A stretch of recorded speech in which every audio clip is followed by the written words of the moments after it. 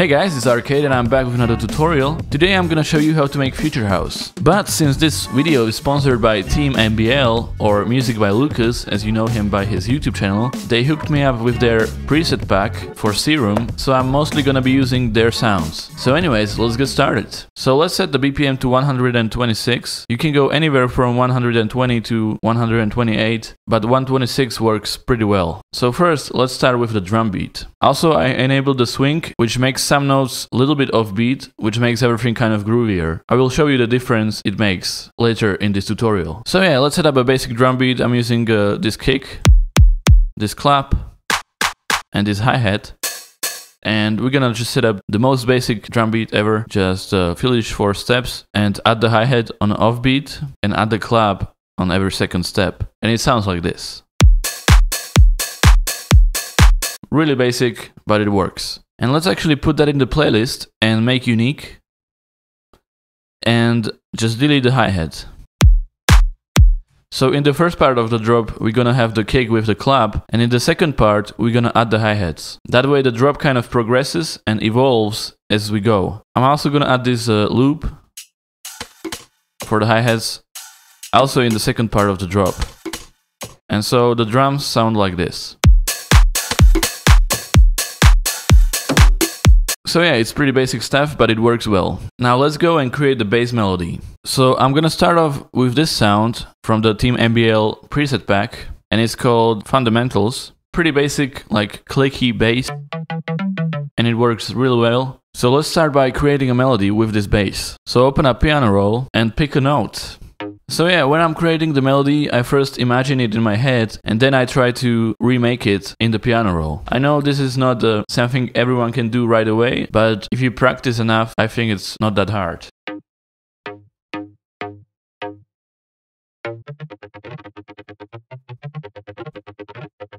And let me show you what the swing function does. If we turn it off, then these three notes won't be as groovy, they will just come one after another and it won't sound as good as with the swing. So this is how it sounds without the swing. And this is when we add the swing. As you can hear, the last three notes are just kind of offbeat, but it makes it really nice. It creates this shuffle feeling.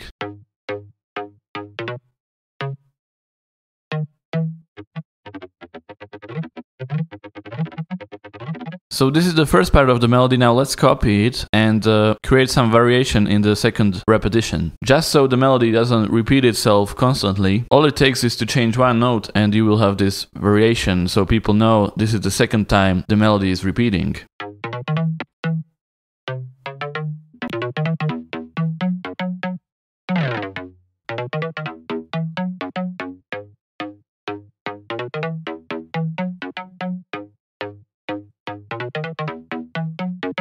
Yeah, I think that's pretty good for the melody. As far as the effects on this sound, I'm using some EQ to delete the low frequencies because we're gonna have the sub bass for those. And I also just boosted a little bit around here just so it has a little bit more power. I am also using Soundgoodizer, again just to give it a little bit more power and compression. And also this sound is sidechained, that means every time the kick will hit, the sound will get lower in the volume. I got tutorial for sidechaining, check out the link in the description. Now for the second layer of the bass, I'm using this preset which is a more dirty bass that will add some nice uh, frequencies to the other sound. So let's just copy this melody, click on the sound, press Ctrl C and Ctrl V. So pretty much the same melody. Together they sound like this. For the bass still. Now for the third layer of sounds, we are still working with the bass and it's this sound which is called layer up, which kind of makes sense. It's basically white noise. And this will add this click on the beginning of the bass. So let's copy the notes again and paste them right here. And now it sounds like this. So yeah, that just gives this uh, bass a little bit of a click on the beginning, which will make it more obvious in the song. And now for the fourth layer, it's the sub bass, of course. I'm using this sub bass, also from the pack. Really basic, but it works. So yeah, copy the notes again and paste them in the sub bass, but go to piano roll and put it octave down. You can hold control and arrow down, and that will put it octave down. And as far as the effects on the sub bass, there is only sidechaining on it. So no effects there, but don't forget to sidechain it so it doesn't overlap with the kick. So now put it in the playlist and together it sounds like this.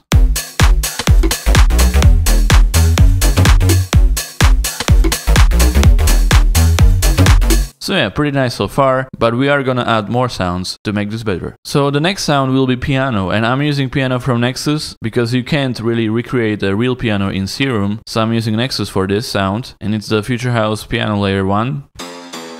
And so just copy the notes again from the bass sound, and let's create a new pattern and paste the notes to the Nexus, and also put them octave higher or two octaves.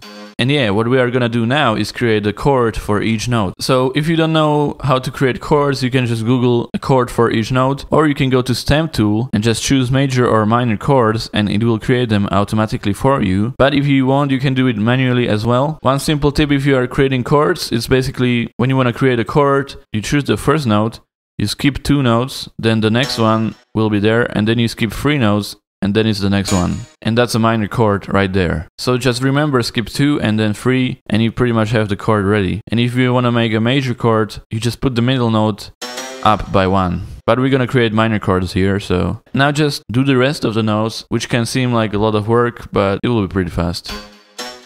And you can just copy them as well if there are.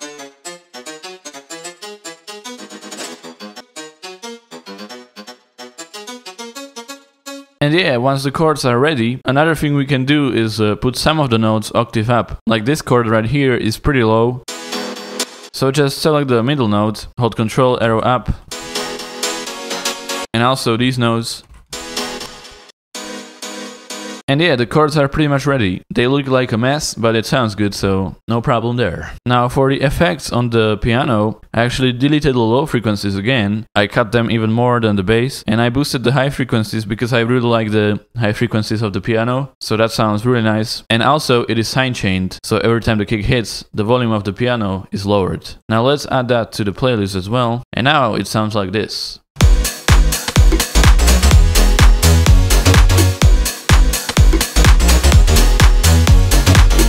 So now we have a pretty good bass for the drop. But I'm gonna add one more melody that is not going to follow the bass at all. So it's kind of like a counter melody. And for that melody, I'm using this sound. Also from the Team MBL sound pack. This is actually a vocal shot, so I really like this one. So let's create a new pattern and add the melody in the playlist already, even though we have nothing there. But I'm gonna create the melody while playing the song, so it's easier. So yeah, let's go to piano roll and let's just play the song. So what I would usually do is uh, play the song and again just imagine what kind of melody would fit there and then just recreate the melody in the piano roll. Since you are playing the song along with the melody, you cannot really go wrong with the notes, so you can tell which note is out of harmony or doesn't fit there and which ones are good. So yeah, just play the song along with creating the melody and let's see what we can make.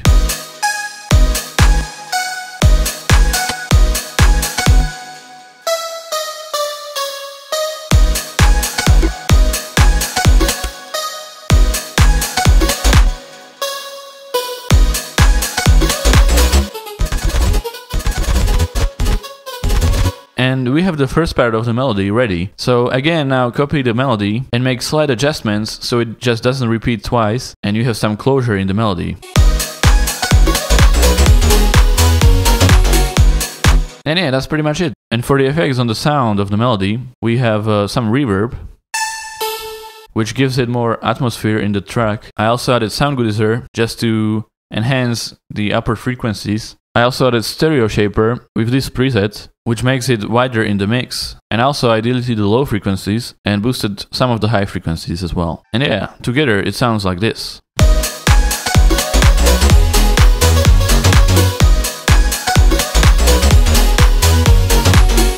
Now, mostly what we need to do is figure out some details and things to make this more interesting. So let's add some effects as well.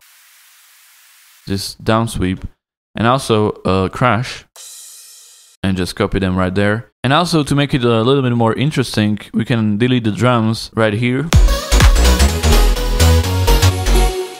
And let's actually edit the start of the second part of the drop. Let's delete all the first notes And also, let's make unique. Yeah, and just add one more kick. Yeah, and that, that will just create a really nice effect.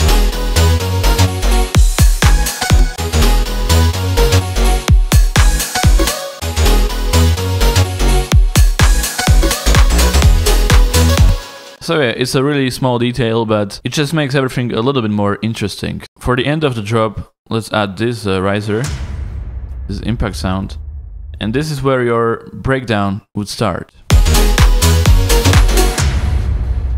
And I actually just created this little piano in the breakdown. But yeah, this is the finished result of the tutorial.